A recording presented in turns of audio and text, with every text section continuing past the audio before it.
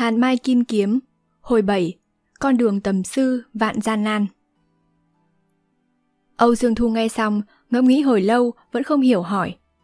Tiểu đệ vẫn chưa hiểu người đã bị chặt mất tứ chi ấy sao lại liên quan tới vụ án của phái Bình Giang. Vì theo lời gia sư nói, người ấy quả là chưa chết và còn thu nhận hai người rợ miêu cương để sai bảo. Hai người miêu cương này nghe đầu đều cao đến trượng hai, sức mạnh khôn cùng và đi lại như gió. Âu Dương Thu đột nhiên dừng lại, tung mình lao vào một lùm cỏ bên đường. La võng cơ giật mình, vội vận công giới bị, tưởng là có kẻ địch rình rập, nhưng đã thấy Âu Dương Thu phi thân trở lại, tay cầm một chú thỏ béo to. Âu Dương Thu cười hề hề nói, La tỷ tỷ hãy xem, con thỏ này đủ cho hai chúng ta một bữa no nê rồi, cần gì phải vào trong quán ăn. Thù đệ khá lắm. Thế này vậy, tỷ tỷ có mang theo hỏa tập, chúng ta hãy tìm một chỗ kín đáo, đốt lửa lên nướng, ăn xong rồi đi ngay. Khỏi phải vào mã nhai chấn, vạn nhất bị tai mắt của Hải Long hội phát hiện thì lại thêm rắc rối. Nàng vừa nói vừa dẫn trước đi vòng ra sau một gò đất. Âu Dương Thú tay cầm chú thỏ dừng theo sau. Hai người vòng qua gò đất, trước mặt hiện ra một khoảng đất trũng, cây cối lừa thừa, quả là một chỗ ẩn thân tốt. Giữa rừng thưa có một quán cây to lớn.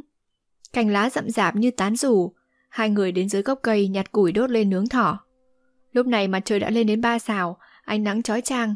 Âu Dương Thù vừa nướng thỏ vừa liếc mắt nhìn trộm La Võng Cơ đang ngồi ở bên đắm chìm trong suy tư. Gương mặt như hoa đào của La Võng Cơ lúc này dưới ánh lửa càng thêm kiểu diễm. Có điều là đôi mắt phụng thoáng nhíu lại, lộ vẻ lo âu. Âu Dương Thu rất hiểu, vị La tỷ tỷ đã để mắt xanh đến chàng, thậm chí chẳng quản hy sinh bản thân, bội phản phụ thân. Hẳn là đang rất đau khổ. Nàng đối với chàng ơn nghĩa nặng như núi, giờ đây biết phải báo đáp thế nào. Nhưng chàng biết, lòng chàng cũng đã nảy sinh một niềm kính yêu sâu đậm với La Võng Cơ. Niềm kính yêu ấy không chỉ là cảm kích, mà còn có chút mùi vị ngọt ngào và phức tạp khó có thể hình dung. Mùi vị ấy chàng đã từng nếm trải qua một cách mơ hồ, nhưng giờ nhớ lại thật là xa vời và khiến chàng đau lòng ghê gớm. Ký ức cũ đã được cảm xúc mới thay thế. Đó là ranh giới trong lòng Âu Dương Thu. Kể từ nay tình thù ân oán đã được phân chia tách bạch trên tâm lý cũng như hành động của chàng. Hình bóng ba chị em họ Lam chẳng những đã phai lạt trong lòng chàng, thậm chí chàng còn không muốn nghĩ đến nữa. La Võng Cơ bỗng phát hiện thần thái ngơ ngẩn của Âu Dương Thu, bèn hỏi. Thu đệ đang suy nghĩ gì đấy? Hay là để tỷ tỷ nướng thỏ nhá? Âu Dương Thu trong suy tư trở về với thực tại, ngượng ngùng nói. Ờ, tiểu đệ đâu có suy nghĩ gì. Tỷ tỷ đã mệt rồi, tiểu đệ phải phục vụ cho tỷ tỷ mới đúng. La Võng Cơ nghe lòng ngọt lịm, bao ưu sầu lập tức tan biến. Nàng sâu sắc nhận thấy tấm lòng nàng đã dành cho Âu Dương Thu không hề uổng phí. Tất cả những gì nàng đã bỏ ra đều rất xứng đáng. Nàng đã có được hạnh phúc và an ủi. Đó là niềm cảm thụ chưa từng có trong đời nàng. Nghĩ đến cuộc đời nàng thật chẳng khác nào là một làn sương mù dày đặc. Hoạt Diêm Vương La Tu là phụ thân nàng, nhưng chỉ có trên danh nghĩa chứ không có tình cha con. Nàng không hiểu phụ thân, càng không hiểu mình không có mẫu thân, thì tấm thân này từ đâu mà có. Nàng không biết phụ thân có yêu thương mình hay không, nhưng ông không bao giờ thắc mắc đến hành động của nàng. Hai người đều có tâm sự riêng, đang lúc đắm chìm trong suy tư, chú thỏ rừng non béo đã được nướng chín, mùi thịt thơm tỏa ra nực nồng. Âu Dương Thu dùng một cành cây khều chú thỏ đã nướng chín ra, cầm lên xé làm hai, đưa nửa phần cho La Võng Cơ. Hai người bắt đầu ăn ngon lành. Ăn xong, bao tử của hai người đã no nê, tinh thần cũng phấn chấn hơn. Âu Dương Thu đưa tay áo quẹt miệng hỏi. Hai người rợ miêu cường đã được người bị chặt đứt tứ chi thu nạp, rất có thể không có chút liên quan gì đến cái chết của nghĩa phụ và nghĩa mẫu của tiểu đệ. Đột nhiên một tiếng nói từ trên cây vọng xuống. Đương nhiên là không liên quan rồi, vì nàng ta chưa nói ra một bí mật khác của người bị chặn đất tứ chi mà. Âu Dương Thu và La Võng Cơ giật nảy mình đứng phát dậy, đưa mắt nhìn lên cây tìm kiếm. Hai vị hãy mau chạy đi, hai con nga khuyển của hạt Diêm Vương đã sắp đuổi đến đây rồi. Thật ra thì vụ bí mật khác của người bị chặt tứ chi, kẻ khác cũng chỉ biết có một phần nào thôi. Tiếng nói xa dần, sau cùng không còn nghe được nữa. Với trình độ võ công và kinh nghiệm giang hồ như La Võng Cơ mà lại không phát hiện ra được tung tích của đối phương, đủ biết rằng khinh công của người này đã đến cảnh giới xuất thần nhập hóa. Âu Dương Thù nghe tiếng nói rất quen, bèn hỏi. La Tỷ Tỷ có nhận ra tiếng nói này dường như là của vị lão tiền bối đã ngầm cứu giúp chúng ta đó không? Không sai, chính là lão nhân ấy đấy. Dường như là lão nhân gia ấy luôn đi theo chúng ta. Vậy là lời nói của lão nhân gia ấy không phải là giả. Chúng ta mau chạy. Âu Dương Thu đã từng nếm trải sự lợi hại của hai con Nga khuyển kia rồi. Giờ thấy là Võng Cơ hốt hoảng như vậy, dĩ nhiên biết là tình hình nghiêm trọng nên cũng chẳng hỏi nhiều, vừa định thi triển khinh công. Chỉ thấy La Võng Cơ nhặt lên một mảnh than, quyền lên lòng bàn tay rồi thoa lên mặt. Gương mặt xinh đẹp như hoa liền lập tức trở nên đen đúa xấu xí, không nhìn kỹ thì khó có thể phát hiện ra là đã hóa trang. Âu Dương Thu cười nói, thuật dịch dung với nguyên liệu tại chỗ này của La Tỷ Tỷ thật là tuyệt diệu. La Võng Cờ nhoẻn cười, lộ ra hai hàm răng trắng đều, thật không tương xứng với gương mặt đen đúa của nàng, trông rất dị hợm, khiến cho Âu Dương Thu cười ngặt nghẽo. Hai người vừa cười vừa phóng đi, vượt qua được khoảng 10 dặm đường, La Võng Cờ bỗng quay sang Âu Dương Thu nói. Thu đệ, từ đây tới núi vô lượng ít ra cũng phải 3-4 ngày đường, nhưng vì tránh tay mắt của Hải Long hội, chúng ta phải chọn đường hẻo lánh mà đi, nên mất khá nhiều thời gian. Vì rời khỏi Ngân Kiều thôn vội vã, nên tỷ tỷ đã quên mang theo tiền bạc. Nhưng trên đầu tỷ tỷ có một cây kim châm, Thu đệ hãy mang đến mãi nhai trấn bán đi để làm lộ phí. Đoạn từ trên tóc rút ra một cây kim châm trao cho Âu Dương Thu nói tiếp. Theo lời gia phụ, cây kim châm này là một bảo vật quý giá, ít nhất cũng bán được hai ba trăm lạng bạc. Nếu gặp người mua biết hàng, đáng giá những mấy ngàn lạng bạc. Giờ chúng ta đang cần, thôi thì bao nhiêu cũng mặc, chỉ cần bán được là tốt rồi. Âu Dương Thu đón lấy cây kim châm, chú mắt nhìn kỹ, chỉ thấy kim châm này dài cỡ 3 tấc 3, trên khắc nhị long hí châu, hạt châu tuy cỡ hạt đậu, nhưng ánh sáng tím chói người, biết kim châm quý giá chính là hạt châu này. Chàng kích động nói, là tỷ tỷ, đây quả là một bảo châm, tỷ tỷ hãy cất lấy thì hơn, chúng ta không có lộ phí, trên đường tiểu đệ có thể xin. Vậy sao được? Vàng bạc châu báu giữa xa cũng chỉ là vật ngoài thân, được không đáng mừng, mất không đáng buồn. Và lại hiện giờ chúng ta đang cần. Thu đệ xem, phía trước kia chính là mã nhai trấn. Tỷ tỷ ở đây chờ. Thu đệ đi mau đi. Âu Dương Thù cảm động nghẹn lời. Là tỷ tỷ tốt với tiểu đệ thế này, thật sự tiểu đệ không biết nói sao. La võng cơ xua tay, ra ý bảo chàng đi mau về sớm, còn nàng thì tung mình vào trong khu rừng bên lề đường. Âu Dương Thù đành cầm kim châm đi về phía mã nhai trấn. Kể cũng thuận lợi, chàng mang kim châm vào một tiệm cầm đồ, cầm được 300 lạng bạc và dặn chủ tiệm gìn giữ cẩn thận, một ngày gần đây sẽ đích thân đến chuộc. Đó là bởi chàng nghĩ sau khi đến núi vô lượng, chỉ cần đạt được mục đích tầm sư học võ, khi xuất đạo sẽ đi lấy về, trả lại cho La Võng Cơ.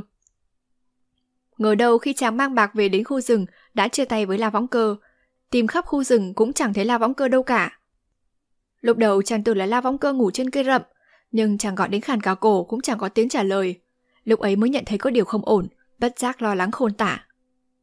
Trong rừng yên lặng như tờ, không hề có vẻ gì khác lạ. Nếu nói là La Võng Cơ đã gặp hung hiểm, với võ công của nàng thì chẳng thể chưa động thủ đã bị bắt, bởi trong rừng không hề có một dấu vết giao chiến. Vậy thì nàng đã đi đâu? Chàng tìm kiếm suốt cả nửa ngày vẫn không thấy có kết quả, sau cùng đành trở về chỗ La Võng Cơ đã tung mình vào rừng, định theo dấu chân tìm kiếm. Thế là chàng đã phát hiện một mảnh vải trắng nằm dưới một hòn đá nhỏ, bởi khi nãy vội vã đã không chú ý. Chàng nhặt mảnh vải lên xem, chỉ thấy dòng chữ bằng than viết. Gửi thu đệ, vì có việc gấp không thể chờ đợi, tỷ tỷ đi đây, đừng nên tìm kiếm, mong thu đệ hãy tức khắc đến núi vô lượng. La võng cơ thủ thư Âu Dương Thu xem xong, hình như sấm nổ ngang tai, đầu óc xây sầm, lòng trắng rõ là mùi vị gì. Việc gì mà lại phải gấp gáp thế? Và tại sao bảo chàng đừng tìm kiếm nhỉ? Âu Dương Thu tay cầm mảnh vải, miệng lẩm bẩm đi ra khỏi khu rừng. Chàng vốn nghĩ chỉ cần La Võng Cơ chịu đi cùng chàng đến núi vô lượng, chàng tin chắc có thể thuyết phục nàng. Cho dù nàng không chịu học võ công, bảo nàng cất một ngôi nhà lá trong núi để ở thì cũng có thể thường xuyên gặp nhau. Nếu như nàng thật sự yêu chàng, nàng sẽ bằng lòng. Đó dĩ nhiên chỉ là ý nghĩ trong lòng Âu Dương Thu, chứ chưa nói ra với La Võng Cơ. Bỗng chàng nhớ lại cảnh báo của lão tiền bối, bèn nhận định hẳn là La Võng Cơ đã bị người của Hải Long hội bắt về. Nhưng nghĩ kỹ, lại như không thể như vậy, bởi nếu người của Hải Long hội đuổi đến chắc chắn nàng không có thời gian viết chữ trên vải để lại. Hơn nữa, Hải Long hội cũng chẳng chịu buông tha cho chàng.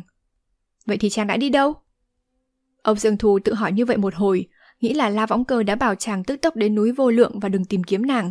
Hẳn là có nguyên nhân khác. Nhưng lại không sao nghĩ được nguyên nhân ấy. Sau cùng, đành phải theo lời dặn của La Võng Cơ, một mình đi về phía nam. Vốn sống chết có nhau như chim liền cành, giờ bỗng nhiên kẻ đông người Tây, Âu Dương Thù cô đơn phóng đi, nỗi khổ sở và buồn tẻ trong lòng nào ai biết, và biết bày tỏ cùng ai. Chàng ngày đi đêm nghỉ, hai ngày liền không có việc gì xảy ra. Sáng sớm ngày thứ ba, chàng đến một nơi có tên là Kê Lung, vượt qua sông Lan Thương. Sau khi hỏi thăm, mới biết hãy còn cách núi vô lượng một phần ba lộ trình, khoảng một ngày rưỡi nữa mới đến. Âu Dương Thu nóng lòng cầu sư học nghệ, gặp người là hỏi, không vào tiệm quán ăn uống, chỉ mua chút gì đó ăn tạm rồi lại đi tiếp. Chiều tối, một quan ải xa xa hiện ra trong tầm mắt. Hai bên núi cao chót vót, hết sức hiểm trở. Âu Dương Thu đi đến cửa ải, Cửa thành đã đóng chặt, bên ngoài vắng ngắt. Nhìn hồi lâu không một bóng người, nhưng trên tường thành đao kiếm sáng ngời, binh lính đầy rẫy, sát cơ trùng trùng. Dưới ánh nắng chiều tà, bà chứ an định quan to lớn trên cổng thành vẫn trông thấy rất rõ. Hiện nay đang lúc Thái Bình thịnh thế. Vậy mà an định quan lại canh phòng nghiêm ngặt như là đại địch sắp tấn công thế này, chẳng phải là chuyện lạ ư? Âu Dương Thù sau khi quan sát tình thế, nhận thấy muốn vượt qua quan ải này chỉ có hai con đường. Một là vượt núi mà qua, nhưng thế núi quá hiểm trở, không quen thuộc đường lối, đâu phải chuyện dễ dàng. Hai là phóng lên tường thành, điều này không khó, nhưng nếu không muốn kinh động đến binh lính giữ thành, sinh chuyện rắc rối thì lại chẳng dễ dàng. Chàng ngẫm nghĩ một hồi, sau cùng quyết định vượt qua tường thành. Vạn nhất bị binh lính phát giác, đành phải bằng vào khinh công nhanh chóng thoát thân, vậy dễ dàng hơn trèo qua núi cao nhiều. Thế là chàng bèn tìm một chỗ kín đáo nghỉ dưỡng thần, đợi đến canh hai hãng hành động. Lát sau, ánh trăng đã lên đến đầu thành, ánh bạc phủ đầy mặt đất, trong thành vang lên tiếng chống canh liên hồi, chỉ biết phòng thủ nghiêm ngặt giường nào. Âu Dương Thù đang suy nghĩ tìm cách vào thành mà không gây xung đột với binh lính, bỗng nghe trong thành vang lên tiếng la hét dậy trời. Chàng liền động tâm thầm nhủ. Sao mình không nhân lúc trong thành hỗn loạn nhanh chóng vượt qua? Đoạn vừa định tung mình đến gần tường thành, bỗng thấy binh lính trên tường thành nhốn nháo, tiếng la hét vang dậy. Chàng lại thụp trở xuống chờ xem diễn biến. Ngay khi ấy, chỉ thấy trên tường thành xuất hiện hai bóng người khổng lồ, so với tường thành còn cao hơn ba bốn thước. Dưới ánh trăng sáng, Âu Dương Thu nhìn thấy rất rõ hai người khổng lồ ấy, chỉ thấy họ đầu to như chiếc đấu, tóc dài phủ vai, đầu chụp vòng vàng, mắt lộ mũi sừ, miệng to răng nhe, mày rậm mắt tìm, tướng mạo hết sức hùng tợn. Hai người khổng lồ ấy dường như đều có cắp một vật nặng dưới nách trái, chỉ với một cánh tay không, đương cự với làn sóng binh lính. Họ dường như không sợ đao kiếm, chỉ nghe một hồi tiếng binh khí chạm nhau và văng bay tứ tung. Sau đó là tiếng rú thảm liên hồi, bóng người văng bay. Có kẻ bị ném lên không, rơi xuống liều bạt. Có kẻ bị ném ra ngoài thành, vỡ đầu nứt sọ, thê thảm tột cùng. Chừng một khắc sau, binh lính trên thành như đã chết rất nhiều, số còn lại không dám tiến tới nữa. Hai người khổng lồ cùng cất tiếng hú vang như quỷ gào, hồi âm vang vọng núi rừng, nghe thật sự khủng khiếp. Trong tiếng hú chưa dứt, hai người khổng lồ đã từ trên tường thành tung mình lên, phóng xuống bên ngoài thành, mang theo kình phong ảo ảo. Âu Dương Thú thấy vậy bất giác thẻ lưỡi, vội rụt người vào, nhưng hai người khổng lồ như đã phát hiện ra chàng, phóng ngay xuống chỗ chàng đang ẩn nấp. Trong tình huống này, Âu Dương Thú đã không thể tung mình lên tránh, cũng chẳng dám ra tay khách cự, thật sự là khiến chàng ớn lạnh cả người. Hệt như trời long đất lở, Âu Dương Thu bị cát đất văng đầy đầu mặt, mắt hoa tai ủ, đã bị một người khổng lồ dẫm ngay lên lưng. Chàng đưa tay dụi mắt, ngước mặt lên, bàng hoàng thầm nhủ. Vì sao y lại bất động thế này? Ngay lập tức, một bàn tay to lớn đẩy lông lá nắm lấy tay của Âu Dương Thù đưa lên không. Âu Dương Thù như sợ đến mức tê dại, bị người khổng lồ nắm lấy trong tay, hai mắt trố to nhìn vào gương mặt ghê giận của đối phương. Người khổng lồ đưa mắt nhìn Âu Dương Thu trong tay, tuét miệng nhe răng như là cầm trong tay một con búp bê vậy. Lúc này trên tường thành lại la hét ầm ĩ, tên như mưa bấc bắn vào hai người khổng lồ. Người khổng lồ khác một tay vùng mạnh, cuồng phong dậy lên như chớp xoáy, mưa tên lả tả rơi xuống, nhưng một làn mớ tên khác thì lại bay đến. Âu Dương Thù bừng tỉnh bởi tiếng la hét, nhận thấy hoàn cảnh của mình lúc này quá nguy hiểm, nhưng bị người khổng lồ nắm trong tay thì biết phải làm sao đây? Bỗng người khổng lồ nắm giữ Âu Dương Thù cất tiếng hú vang, cánh tay dài vung mạnh, dùng chàng làm binh khí ném thẳng vào làn mưa tên. Âu Dương Thù người bay đi, mắt thấy tên nhọn rập trời bay đến, bất giác hồn phi phách tán. Nhưng lạ thay, chàng bị người khổng lồ ném bay qua khỏi tường thành, lại rơi thẳng vào trong thành, nhưng người thì lại không hề bị trúng một mũi tên nào cả. Chờ khi đà ném yếu dần, chàng giang hai tay ra với thế nhạc lạn bình xa, nhẹ nhàng hạ xuống trên mái một ngôi nhà to. Đó là một màn hữu kinh vô hiểm. Âu Dương Thù thật không sao ngờ được là mình lại gặp hung hóa kiết. Người khổng lồ đã giúp chàng dễ dàng vào được trong thành. Chàng đảo mắt nhìn quanh, thấy không có binh sĩ nào đuổi theo, liền lập tức vận công đề khí, phóng đi trên mái nhà như một làn khói nhẹ. Phía này tuy không bị cản trở, nhưng khi sắp đến mặt kia cửa thành, chàng đã bị binh lính phát giác. Tưởng chàng là đạo tặc, sau một hồi truy sát cũng khiến chàng phải phí khá nhiều sức lực mới qua được khỏi thành, theo đường cái quan phóng đi về phía nam. Lúc này trăng sáng vằng vặc, bốn bề vang lên tiếng côn trùng, thỉnh thoảng lại vọng đến vài tiếng vượn hú sói chu, càng tăng thêm vẻ tiêu điều và ghê rợn của đêm đen. Âu Dương Thú sau một hồi hết tốc lực phóng đi, quay đầu lại nhìn, phía sau không có người đuổi theo, bèn thả chậm bước. Lúc này, đầu óc chàng mới có được chút nhàn rỗi, nhớ lại gương mặt ghê rợn của người khổng lồ kia, lòng vẫn còn cảm thấy hãi hùng. Âu Dương Thu đã chứng kiến tận mắt sự hung tàn của người khổng lồ, nhưng không hiểu nổi vì sao y chẳng những không làm hại chàng mà lại còn giúp chàng vượt qua tường thành. Hai người khổng lồ đó rõ ràng đều có cắp dưới nách một người áo xanh. Âu Dương Thú tuy trong lòng kinh hoàng, chưa nhìn rõ được hai mặt người đấy, nhưng qua vóc dáng, chàng có thể khẳng định đó là hai người đàn ông khỏe mạnh. Qua vóc dáng và màu sắc y phục của hai người khổng lồ này, hiển nhiên họ cũng chính là hai người khổng lồ mà chàng đã gặp tại Mã Lộc Trại và tại Hạp Cốc lúc đi cùng La Võng Cơ. Trong cả ba lần gặp, hai người họ đều thấy bọn họ bắt người. Họ có dụng ý gì? Chả lẽ họ chính là hai người rợ miêu cương, thủ hạ của vị tiền bối đã bị chặt tứ chi hồi 30 năm trước ư? Âu Dương Thù vừa đi vừa nghĩ ngợi. Từ hiện tại trở về đến đêm mưa gió, nhà bị thảm sát, bào dĩ vãng lần lượt hiện lên trong đầu. Trong số đó có một điều kỳ lạ mà Âu Dương Thu không nghĩ đến, đó là Thái Hư Thượng Nhân là người võ công cao nhất thiên hạ do thiết bốc thần y nói ra, và chỉ có mỗi mình chàng nghe ra, Cớ sao lão nhân quái dị trên nhị hải lại biết mà dùng bốn câu thơ để chỉ điểm cho chàng? Giá mà chàng nghĩ đến điều ấy, hẳn càng lấy làm lạ hơn. Nhưng dẫu sao chàng cũng còn quá nhỏ tuổi, nên đã bỏ qua điều quan trọng then chốt đấy. Âu Dương Thù một mình đi dưới trăng đêm, tổng kết lại tất cả những gì đã gặp trong mấy tháng qua, nhận thấy toàn là chuyện ly kỳ quái lạ, thần bí khôn lường. Trong những tang ngộ ấy, chàng hết sức cảm kích thiết bốc thần y. Lão nhân trên nhị hải và la võng cơ hết sức căm thù thiết trúc tự, Hải Long Hội và các đại môn phái. Sau cùng chàng đã kết luận và hạ quyết tâm là có ân phải báo, có thù phải đòi. Đúng, bậc đại trượng phu là phải ân oán phần mình. Âu Dương Thu này tuyệt đối không thể ham hồ. Âu Dương Thu sau khi tự nói ra câu ấy một mình, như đã chút hết bao nỗi băn khoăn trong lòng. Tinh thần trở nên phấn chấn, lại phóng nhanh đi tiếp về núi vô lượng. Khi sắp đến chân núi vô lượng, trước mặt hiện ra một con sông rộng mười mấy trượng. Nước tuy chạy xiết, nhưng với khinh công trên nước của Âu Dương Thu đã thử biết ở Nhị Hải, muốn vượt qua con sông này thì dĩ nhiên chẳng có gì là khó. Nhưng ngay khi chàng vừa phóng đi trên mặt sông, bỗng từ trên thượng lưu trôi xuống một chiếc bè nhỏ bé chỉ cỡ chiếc chậu. Chiếc bè ấy trôi đi rất nhanh, thoáng chốc đã đến trước mặt chàng, xoay mấy vòng rồi đứng yên bất động. Âu Dương thú hết sức kinh ngạc, cúi nhìn trên bè, chỉ thấy một lão nhân áo gai mặt mày xanh xao đang nằm ngủ say sưa. Theo tải trọng của chiếc bè nhỏ ấy, cho dù lão nhân nhẹ đến mấy cũng không chịu nổi. Đồng thời chiếc bè tuy được kết bằng những thanh gỗ nhỏ, nhưng nước không hề lọt qua. Âu Dương Thù tuổi trẻ hiếu kỳ, bèn đưa tay lắc lắc chiếc bè, định gọi lão nhân thức dậy để hỏi lai lịch. Lão nhân bị chàng lay tỉnh, nhưng chố to mắt thờ thẫn nhìn chàng không nói một lời. Âu Dương Thù đành phải làm lễ hậu sinh vòng tay xá dài, nhưng chàng chưa kịp lên tiếng thì lão nhân đã lắc đầu, thở dài cảm khái nói. Thật hiếm có, Chẳng ngờ trên đời này lại có người công phu trên nước cao hơn lão phu. Xem ra lão phu vẫn không sao xuất đầu lộ diện rồi. Dứt lời, chiếc bè gỗ lại xuôi dòng trôi nhanh. Âu Dương Thù vội tung mình phóng đi trên mặt nước đuổi theo, nắm lấy bè giữ lại hỏi. Xin lão tiền bối, thượng tính cao danh ạ? Lão nhân không đáp lời mà hỏi ngược lại. Cậu bé, công phu trên nước của ngươi tuy cao hơn lão phu, nhưng dẫu sao lão phu cũng lớn hơn ngươi rất nhiều, sao ngươi không báo ra danh tính của mình trước mà lại đi hỏi lão phu trước? Thật là không biết lễ phép. Âu Dương Thu nóng mặt, vội nói. Dạ vãn bối là Âu Dương Thu. Lão nhân áo gai bỗng mắt rực tinh quang, chú mắt nhìn Âu Dương Thu một hồi, đoạn thở dài nói.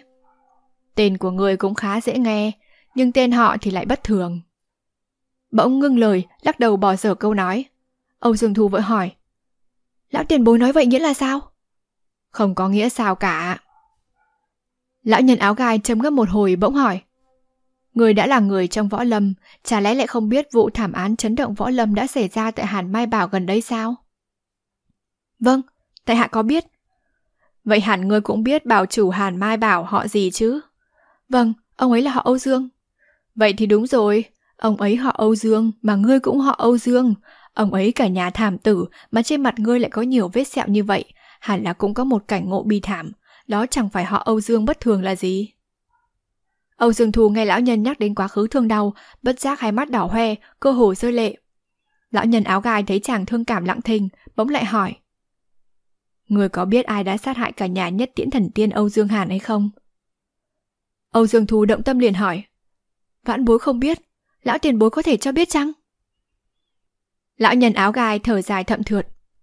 Âu Dương Hàn cả đời hiệp nghĩa, thật chẳng ngờ sau khi lui ẩn lại gặp phải thảm họa như vậy.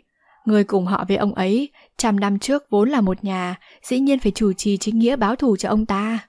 Vì vậy, Lão phù có thể cho người biết, ngày đầu chính là người của các đại môn phái đã liên kết sát hại cả nhà Âu Dương Hàn.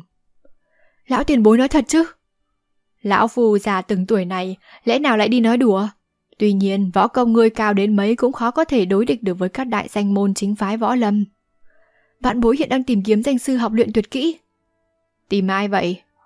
Thái hư thượng nhân trên núi vô lượng, ngày đầu lão nhân gia ấy là người võ công cao nhất trên đời này. Ai nói với người như thế?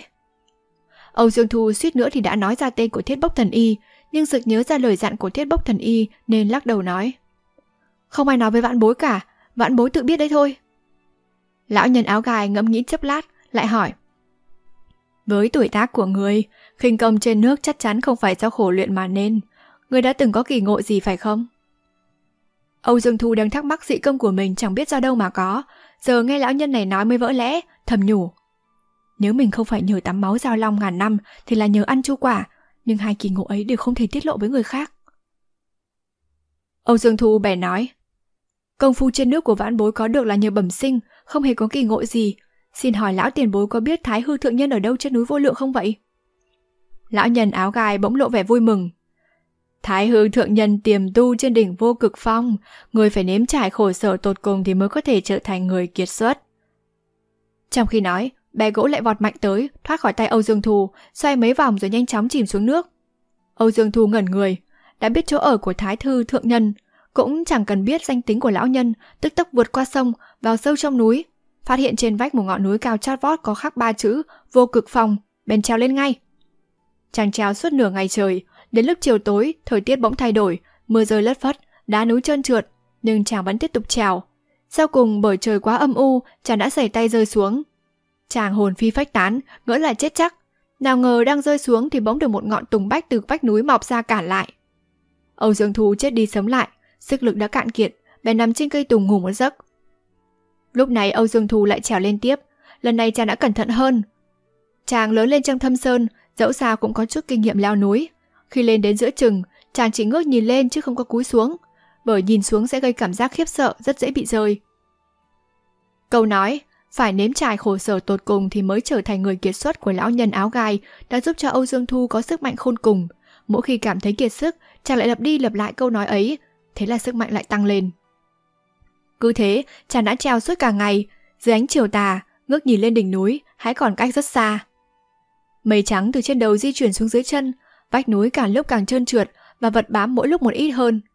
Y phục của chàng lúc này đã rách bươm, khắp người đầy vết xước. Chỗ đi qua đều để lại vết máu.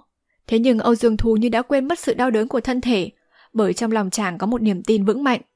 Chàng phải chịu được sự dày vò mà kẻ khác không chịu nổi thì mới thể hiện được tấm lòng chân thành của mình. Như vậy, Thái Hư Thượng Nhân mới chịu thu nhận chàng làm đồ đệ, truyền thụ võ công cao tuyệt cho chàng. Nhưng vách núi dần treo leo đến mức không thể nào trèo lên tiếp được nữa, và thật không may, một mỏm đá nhô ra hơn trượng đã cản ngay trên đầu chàng. Âu Dương Thú định di chuyển sang bên, tránh qua mỏm đá ấy, nhưng vách núi hai bên đều trơn trượt đến mức không thể bám tay vào. Lúc này, chàng chân đặt trên một lõm nhỏ, hai tay bám vào một cây nhỏ cỡ ngón tay cái, người đứng thẳng, lên xuống cũng không được, thật là tiến thoái lưỡng nan. Thời gian lâu, ngọn cây to cỡ ngón tay không chịu nổi thể trọng của Âu Dương Thu, phát ra tiếng lắc rắc, mắt thấy đã sắp gãy hoặc bị chóc gốc. Một dự cảm chẳng lành dâng lên trong lòng của Âu Dương Thu, bất giác thầm nhủ. Chả lẽ lão nhân áo gai nó không sai, cái họ Âu Dương này quả thật là bất thường hay sao? Nước mắt chàng tuôn trào, toàn thân run rẩy, bỗng rắc một tiếng, cây nhọ trong tay quả nhiên đã gãy. Phụ thân! Âu Dương Thu kinh hoàng thét lên, hai tay mất chỗ bám víu, người liền ngã bật ra. Ngay trong khoảnh khắc nguy cấp ấy, bỗng từ trên mỏm đá bay xuống một vật. Bản năng sinh tồn khiến cho Âu Dương Thu hai chân tròi mạnh, người vọt lên mấy thước, cố sức vung tay chụp lấy. Có lẽ cuộc đời không có con đường cùng. Có lẽ chàng võ lâm phải có một trận hào kiếp. Âu Dương Thù đang bên bờ cõi chết đã nắm được một sợi dây sự sống, người lơ lửng trên không, trong tay nắm chặt một sợi dây leo từ trên thòng xuống. Sợi dây leo ấy chính là từ trên mỏm đá thòng xuống. Khi Âu Dương Thù vừa nắm lấy, dây leo liền từ từ kéo lên, hệt như là cá bị mắc cầu. Khi chàng hai chân chạm đất, phát hiện đã lên được đến đỉnh núi, đưa mắt nhìn theo sợi dây leo trong tay, cảnh tượng diễn ra trước mắt lại khiến cho chàng bất giác sững sờ. Đầu kia dây leo thì ra đang nằm trong tay của một thiếu nữ áo lục, dáng người mạnh mai và tóc dài phủ vai, Nhưng lúc nàng thiếu nữ áo lục ấy đang quay lưng về phía Âu Dương Thu, ngồi ngay ngắn trên một phiến đá xanh nên không nhìn thấy rõ diện mạo. Nhưng qua thân hình mảnh mai của nàng, hẳn đó là một giai nhân tuyệt sắc. Âu Dương Thu không cần suy nghĩ cũng biết thiếu nữ áo lục này chính là người đã cứu mạng mình. Đồng thời nàng ta có mặt trên vô cực phòng, hẳn không phải là người bình phàm. Hơn nữa, người ta đã có ơn cứu mạng mình, mình phải ngỏ lời cảm tạ mới đúng. Thế là Âu Dương Thù sải bước đi đến phía sau thiếu nữ áo lục, còn cách hơn trượng đã quỳ sụp xuống, dập đầu lại ba lạy và nói. Đa tạ đại ân cứu mạng của cô nương. Xin hãy nhận lấy của Âu Dương Thù ba lạy. Chàng quỳ lại hồi lâu, vẫn không thấy thiếu nữ áo lục có phản ứng gì, hết sức lấy làm lạ thầm nhủ. Hay là nàng ta chưa nghe thấy? Nếu không... Đang cúi người suy nghĩ, bỗng nghe thấy vang lên tiếng cười khúc khích. Nhưng chàng không dám ngẩng đầu lên, bởi chàng biết rất nhiều kỳ nhân trong võ lâm không kể nam nữ thường có tính cách quái đản, vạn nhất khiến cho vị cứu tình này tức giận, có thể hậu quả sẽ vô cùng tệ hại. Tiếng cười vừa ngưng, Âu Dương Thu liền nghe thấy tiếng y phục phất gió vang lên bên tai, chưa kịp phản ứng đã bị người nắm lấy cổ áo nhẹ nhàng xách lên. Chàng nghiêng mặt nhìn, bất giác kêu á một tiếng, vội nhắm mắt lại, tìm đập dữ dội, toàn thân run rẩy toát mồ hôi lạnh. Thì ra người sách chàng lên chính là vị thiếu nữ áo lục đã cứu chàng. Lúc này chàng đã thấy rõ diện mạo của nàng ta. Đó là một gương mặt khác với sự tưởng tượng của chàng. Chỉ thấy nàng ta mày vàng mắt đỏ, mũi gãy miệng to, cằm nhọn và mặt đầy lông vàng. Nàng phải là một mỹ nhân tuyệt sắc gì? Rõ ràng là bộ mặt của một con vượn. Âu Dương Thù cố sức vùng vẫy, nhưng thiếu nữ áo lục sức mạnh ghê gớm, như ưng bắt gà sách lấy chàng phóng đi như bay. Chừng thời gian sau một tuần trà, thiếu nữ áo lục sách Âu Dương Thù đi vào một sơn động rất rộng. Bên trong đèn nến sáng choang, trần thiết trang nhã, cầm kỳ thi họa đủ cả. Âu Dương Thù bị bỏ xuống trước mặt một chiếc vân sàng. Thiếu nữ áo lục quay người bỏ đi ngay. Chàng ngước mắt nhìn, chỉ thấy trên vân sàng là một lão nhân râu tóc bạc phơ, mặc áo bảo tím có hình bát quái, mặt xanh xao nhưng mắt từ mày thọ, không hề hay biết sự có mặt của Âu Dương Thù. Những sự đã xảy ra trong thời gian ngắn ngủi vừa qua đã khiến cho Âu Dương Thù như vừa trải qua một giấc chiêm bao. Chàng chẳng rõ hiện mình đang ở đâu, quái nữ áo lục kia đã đi đâu rồi, và vị lão nhân đạo phục này là ai? Bao nhiêu nghi vấn khiến cho Âu Dương Thu đứng thừ ra trước vân sàng cả buổi trời, nhưng lão nhân áo tím hệt như lão tăng đang nhập định, không hề hay biết là có chàng hiện diện. Âu Dương Thu thông minh hơn người, thấy lão nhân này tiên phong đạo cốt, nghĩ rất có thể chính là Thái Hư Thượng Nhân mà Thiết Bốc Thần Y đã nói. Nếu quả vậy thì tâm nguyện của chàng kể như đã được hoàn thành một nửa rồi. Nghĩ vậy bất giác lòng mừng khôn xiết, bèn vội quỳ xuống trước vân sàng, không đứng lên nữa quái nữ áo lục không thấy quay lại. Âu Dương Thu quỳ đến hai đầu gối đau nhức khôn tả, mà lão nhân áo tím vẫn không hề chớp mắt. Âu Dương Thu thật là kiên nhẫn, hai chân tê dại đã dần dần mất hết cảm giác, nhưng vẫn quỳ suốt, không lên tiếng mà cũng chẳng động đậy. Ánh bàn mai sao vào sơn động, lửa nến đã mất đi ánh sáng vốn có. Đã qua ngày hôm sau rồi. Âu Dương Thù ban ngày leo núi vốn đã mệt nhoài, lại phải quỳ suốt đêm, sự đau đớn của vết thương da thịt không kể, sự dằn vặt của cơn đói mới thật là khó chịu. Sau cùng chàng không còn chịu nổi được nữa, bùn rùn ngã lăn ra đất bất tỉnh. Khi chàng tỉnh lại, ánh đến trong động lại sáng choang, trời đã tối, nhưng chàng đã thấy toàn thân thư thái, thương thế khắp người đã lành và không còn thấy đói nữa. Quái nữ áo lục chẳng rõ đã trở về bên Âu Dương Thu từ lúc nào, chỉ thấy đang nhìn chàng mà tuét miệng cười. Lão nhân áo tím vẫn yên lặng ngồi xếp bằng trên vân sàng. Âu Dương Thu lúc này chẳng những không cảm thấy quái nữ áo lục đáng sợ, trái lại còn nảy sinh thiện cảm với nàng ta, bởi vì chàng biết hẳn là trong lúc mình hôn mê, quái nữ áo lục đã đắp thuốc chữa thương cho chàng, nếu không, thương thế khắp người chẳng thể lành lặn nhanh chóng đến như vậy. Quái nữ áo lục chỉ nhìn Âu Dương Thu tuét miệng cười chứ chẳng nói chẳng rằng gì cả. Ngay khi ấy, lão nhân áo tím bỗng hé mở mắt, chiếu thần quang sáng ngời, có tiếng hỏi. Người quỳ đó có phải là Âu Dương Thu không? Âu Dương Thu đang lúc thở thẫn, bỗng nghe lão nhân hỏi tên mình, vội dập đầu lại nói. Vạn bối chính là Âu Dương Thu. Âu Dương Thu người chẳng quản sống chết trèo cao lên vô cực phong với mục đích gì vậy? Lúc hỏi, hai mắt lão nhân tinh quang rực chiếu như muốn xuyên thấu lục phủ ngũ tạng của Âu Dương Thu. Âu Dương Thu ngạc nhiên đến tột cùng. Lão nhân áo tím chẳng những biết danh tính chàng, mà còn như đoán ra được đa phần tâm sự của chàng, bèn mắt rướm lệ dập đầu lại tạ nói. Vạn bối thần mang huyết hải thâm cửu, định đến vô cực phong bái sư học nghệ, nhưng chẳng hay lão tiền bối. Bần đạo là Thái Hư, chẳng hay người mà ngươi cần tìm là ai. Âu Dương Thu mừng rỡ, kích động, dạm run run nói. Người vạn bối định tìm chính là tiền bối. Vạn bối định bái lão tiền bối làm sư phụ, van xin lão tiền bối thu nhận. Ai đã cho ngươi biết? Âu Dương Thu thấy vậy đâu dám nói là do thiết bốc thần y chỉ điểm, bèn bấm bụng nói dối. Lão tiền bối là người võ công cao nhất hiện nay, vạn bối mộ danh tìm đến, chứ không hề có ai chỉ điểm. Thái hư thượng nhân nhắm mắt ngẫm nghĩ một hồi, bỗng buông tiếng thở dài lẩm bẩm. Những nhân vật đời trước trong võ lâm đều biết bần đạo trên đỉnh Nga Mi hồi 30 năm trước. Sao lại có người biết bần đạo còn sống ở trên đời? Ôi, tôi đành chịu vậy. Ngươi đã lên được vô cực phong, bần đạo bằng lòng thu nhận ngươi làm đồ đệ. Có lẽ trận hào kiếp võ lâm trong tương lai là do ý trời an bài. Thái hư thượng nhân nói đến đó trầm ngâm chốc lát nhưng đã quyết định một điều gì trọng đại, quay sang thiếu nữ áo lục nói. Tiểu Thúy, ngươi tuy đã theo ta học võ hơn một năm, nhưng ta chưa thu nhận ngươi làm đồ đệ. Đó là điều lệ của tàn khuyết môn. Thu đồ đệ phải là một nam một nữ và phải là người tàn khuyết. Hai người tuy không tàn khuyết tứ chi, nhưng... Thái hư thượng nhân đưa mắt nhìn vào mặt hai người, như không muốn nói ra khuyết tật của họ, nói tiếp. Nhưng các người cũng kể được coi là phù hợp với điều lệ của bổn môn. Vậy hôm nay hai người làm lễ bái sư đi.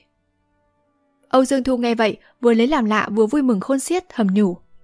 Nếu không nhờ mặt mình có vết sẹo đau thì hôm nay thật khó mà đạt được nguyện vọng bái sư học nghệ. Quái nữ áo lục cũng hết sức vui mừng, vội quỳ xuống trước mặt Thái Hư Thượng Nhân, cùng Âu Dương Thu dập đầu lại ba lạy. Thái Hư Thượng Nhân bỗng ngửa mặt cười vang, khiến thạch động rung chuyển, bụi cát rơi lả tả. Âu Dương Thu với quái nữ áo lục tiểu thúy đều thắc mắc kinh hãi, không dám ngẩng đầu lên. Tiếng cười hồi lâu mới dứt, Thái Hư Thượng Nhân mới nói.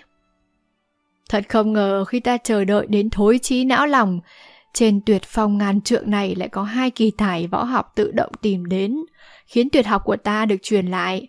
Thật là trời đã giúp ta. Âu Dương Thu nghe vậy càng thêm thắc mắc thầm nhủ. Sư phụ lão nhân già chả lẽ cũng có nỗi khổ tâm khó nói gì hay sao? Chỉ nghe Thái Hư Thượng Nhân với giọng hiền từ nói. Thu Nhi, Tiểu Thúy, các người đứng dậy cả đi. Tuân mệnh sư phụ. Đoạn cùng dập đầu lại rồi đứng lên, chia nhau đứng hai bên.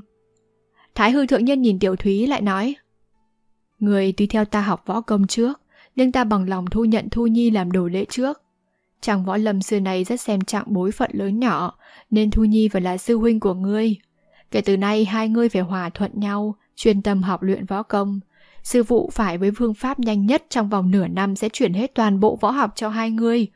Thôi, người hãy bái kiến sư huynh đi Lời dạy của Thái Hư Thượng Nhân tuy hiền từ, nhưng Âu Dương Thu ngay tột cùng uy nghiêm, nên tuy chàng thấy Tiểu Thúy đến trước và lại là ân nhân cứu mạng chàng, theo lẽ phải là sư tỷ, nhưng không dám đưa ra ý kiến phản đối. Tiểu Thúy rất biết vâng lời. Thái Hư Thượng Nhân vừa dứt lời, nàng ta liền quỳ xuống vái Âu Dương Thu một lại. Âu Dương Thu cũng vội đáp lễ, chỉ thấy Tiểu Thúy lại tuét miệng cười, bộ dạng hết sức khó coi và khôi hài. Hai người thi lễ huynh muội xong, Thái Hư Thượng Nhân mặt lộ vẻ an ủi, nhìn Âu Dương Thu nói. Thu Nhi, Vị sư muội này của ngươi tuy tướng mạo xấu xí, nhưng lòng dạ rất lương thiện và không nói được. Từ nay ngươi phải đối xử với nó thật tử tế. Võ công của sư phụ có rất nhiều cần phải nhờ nó gián tiếp truyền thụ cho ngươi. Âu Dương Thu vội đáp, Thu Nhi tuân mệnh sư phụ. Người từ chất thông minh, căn cốt thanh kỷ, thật là một người luyện võ trăm năm khó gặp. Hơn nữa võ công đã có căn cơ, lại thêm sư phụ truyền hết bộ võ học cho ngươi, trong tương lai không khó trở thành một người lỗi lạc trong võ lâm. Âu Dương Thu được khen tuy lòng rất vui nhưng khéo léo không để lỗi ra mặt, chỉ lặng thinh đứng xuôi tay cung kính. Kể từ đó, Âu Dương Thu ở lại trên vô cực phong, hàng ngày cùng với Tiểu Thúy học luyện võ nghệ.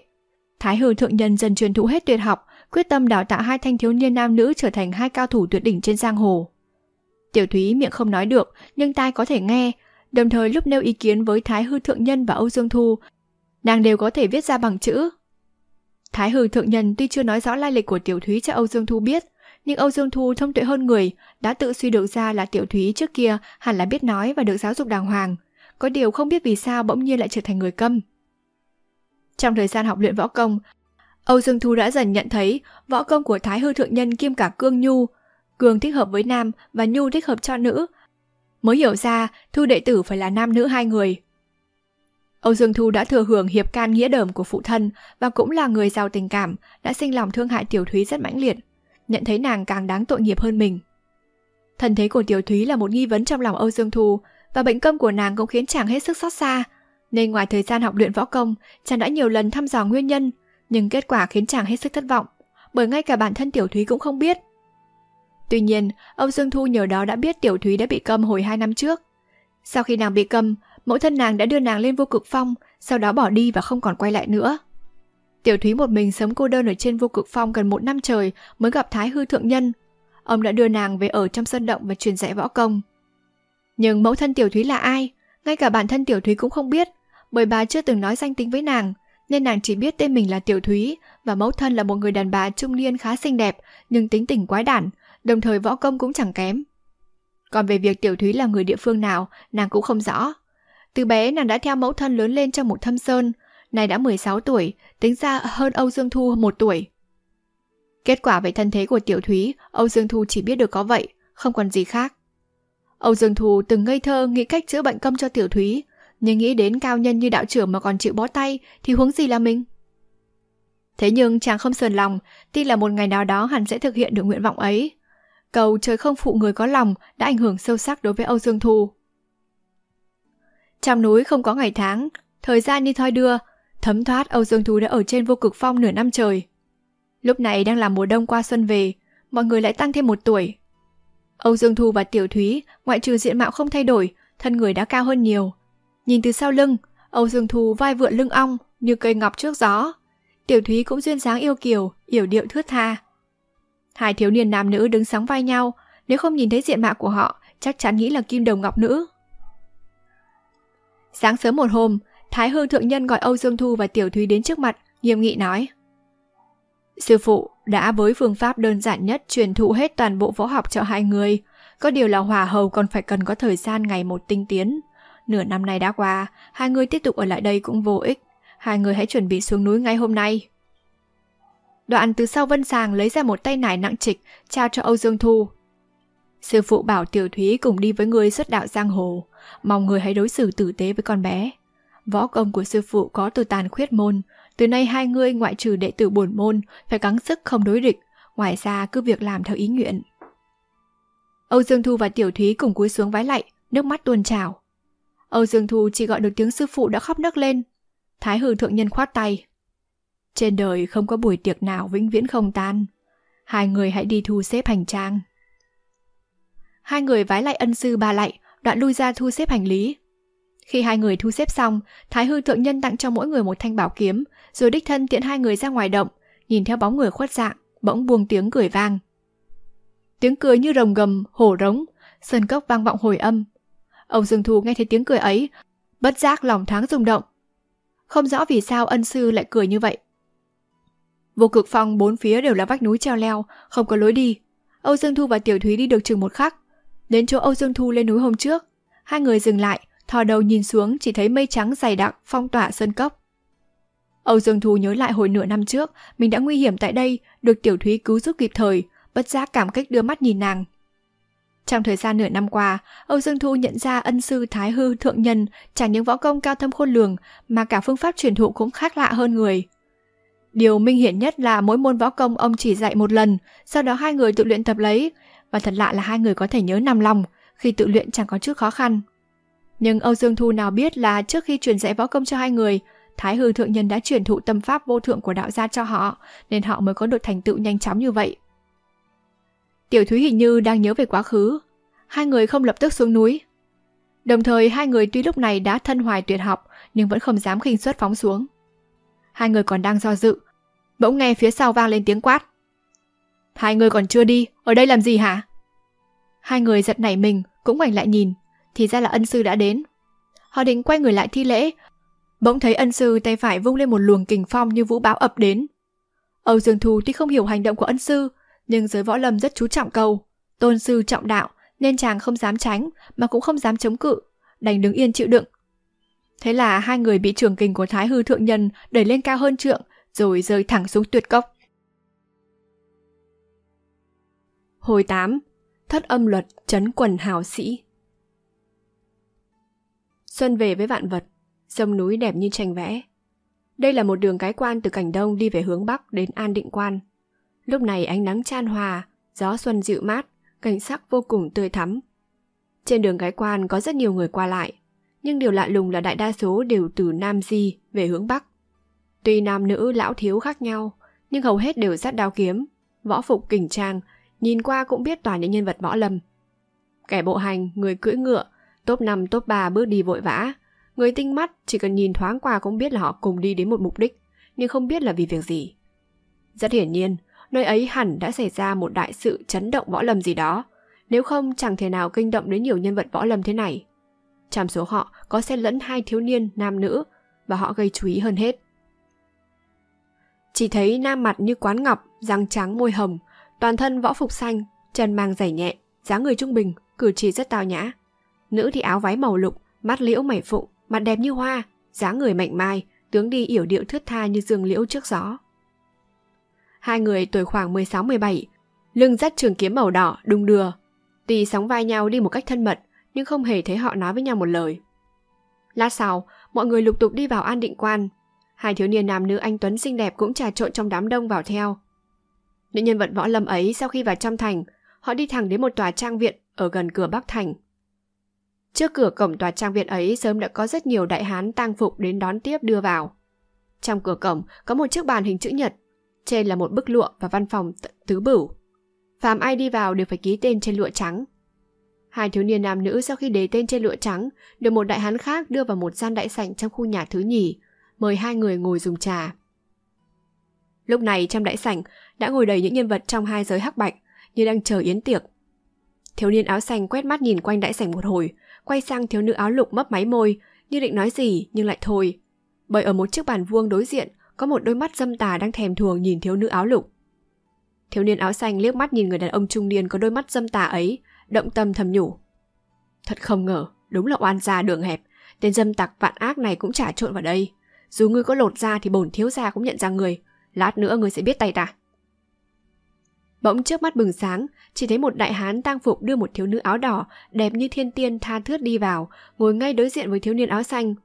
Thiếu nữ áo đỏ chỉ thoáng nhìn thiếu niên áo xanh và thiếu nữ áo lục, rồi ngồi chống cằm suy tư. Thiếu niên áo xanh sau khi trông thấy thiếu nữ áo đỏ, ra chiều rất kích động, mấy lần định lên tiếng chào hỏi, nhưng chẳng hiểu sao lại thôi. Lát sau, thức ăn và rượu được mang lên. Trong đại sảnh đã bày hơn 30 bàn tiệc. Thế là quần hào bắt đầu ăn uống, tiếng chén đũa khua vàng.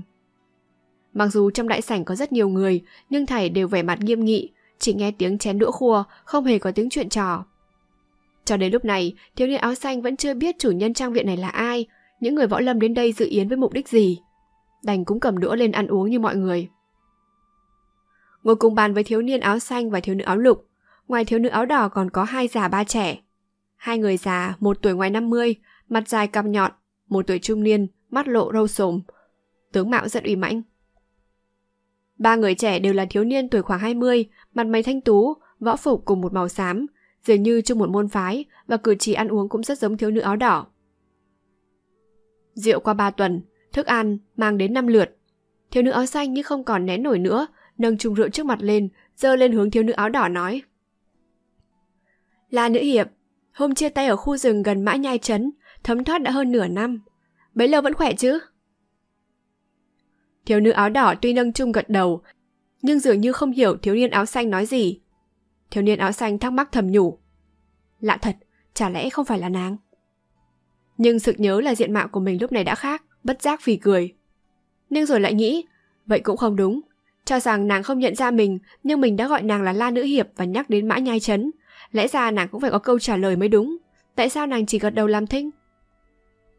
Thiếu niên áo xanh vừa định tìm lời bắt chuyện với thiếu nữ áo đỏ, chỉ thấy một lão nhân tuổi trạc lục tuần, mặt áo gấm xanh, mặt như cổ nguyệt, dáng người quắc thước, dưới cằm có năm tròm râu dài phủ ngực, từ sau bình phong đi ra. Nhận xét về mọi mặt, lão nhân áo xanh này hiển nhiên là một người nội ngoại công kiêm toàn và rất có hàm dưỡng.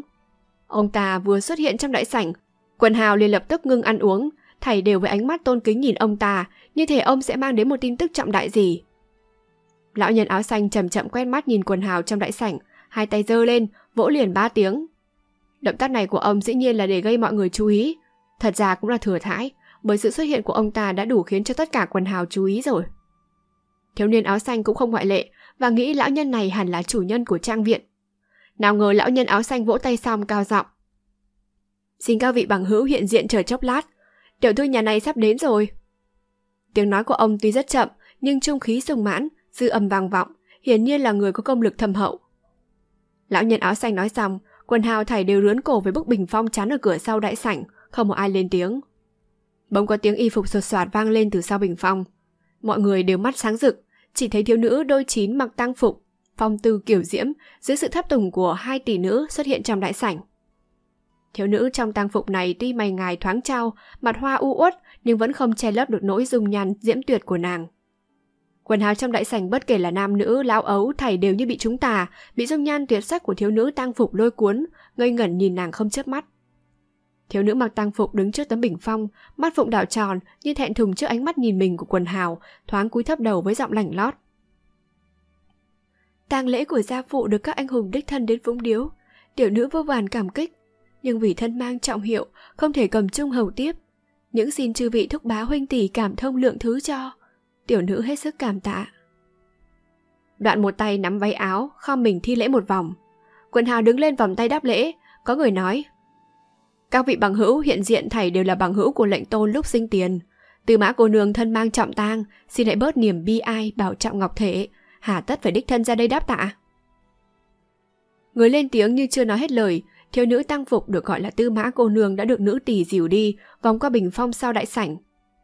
Thiếu niên áo xanh bây giờ mới hiểu, thì ra trang viện này đang có tang sự và người chết chính là chủ nhân của trang viện này. Một người chết mà kinh động đến nhiều hào kiệt trong tỉnh Vân Nam đến phúng viếng thế này, chứng tỏ chủ nhân trang viện hẳn là thanh danh lừng lẫy trong võ lâm. Sau khi thiếu nữ tang phục rời khỏi, lão nhân áo xanh lại vỗ mạnh tay ba tiếng, cao giọng nói. Các vị hãy tiếp tục dùng bữa. Tệ chủ nhân giờ mùi khai điếu, ngày mai giờ ngọ động quan, không chừng còn phải mời chư vị tạm ở lại tệ phủ một đêm.